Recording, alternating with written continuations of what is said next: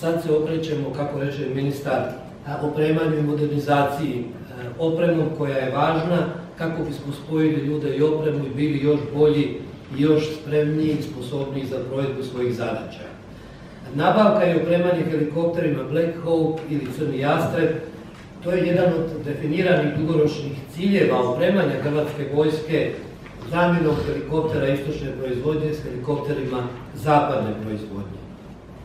Postojeći transportni helikopteri Hrvatske vojske ruske proizvodnje svojim tehničko-taktičkim karakteristikama ne odgovaraju suvremenim doktrinarnim i taktičkim rješenjima i postupcima, prije svega provedbe zračnog desanta i izvođenja operacija specijalnih snaga uz potporu helikoptera.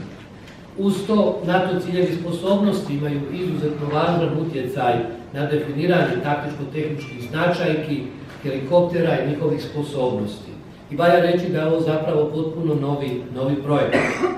Temeljem tih zahtjeva mi smo u Hrvatskoj vojsci na razini grana i na razini glavnog stožera izradili i odobrili taktičko-tehničku studiju opremanja Hrvatske vojske višenamjenskim helikopterom i komparativnom analizom potvrdila se opravdanost nabave helikoptera zapadne tehnologije. Kao što je već ministar spomenuo, SAD su ponudile opciju donacije 53,4 milijuna dolara i mi smo se odlučili da za te novce nabavimo dva helikoptera sa potpunom integriranom logističkom potporom, a onda još dva helikoptera istoga tipa kako bi dobili i ojačali sve te potrebite sposobnosti za provedbu ovih zadaća. Prihvaćanje ove navedene ponude predstavlja važan doprinos modernizaciji helikopterskih sposobnosti Hrvatskog ratnog zrakoplovstva i zapovjedništva specijalnih snaga i značajan iskorak krajnjem cilju potpunog prelaska na zapadnu tehnologiju. Prvi helikopteri bi bili raspoređeni upravo u sastav zapovjedništva specijalnih snaga u smislu njihove operativne uporabe, ali bi naravno održavanje i sve provodilo Hrvatsko ratno zrakoplovstvo, obuku pilota i letenja. Namjera je ove helikoptere jednako tako koristiti u Međunarodnom obučnom centru specijalnih snaga koji za koji dan otvaramo u 93. krilu Hrvatskog ratnog zrakoplovstva u bazi Zemunik kod Zadra.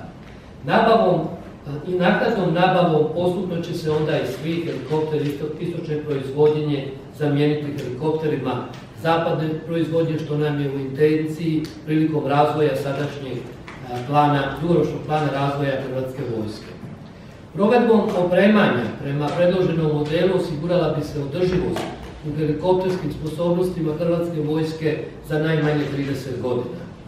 Opremanje ovih helikopterima, kako već ministar reče, vezano za ukupni sustav domovinske sigurnosti, doprinosi još i onim klasičnim vojničkim zadaćama kao što su taktički zračni prijevoz, zračna medicinska evakuacija, potraga i spašavanje na vojnom polju i potpora civilnim institucijama u svakom pogledu.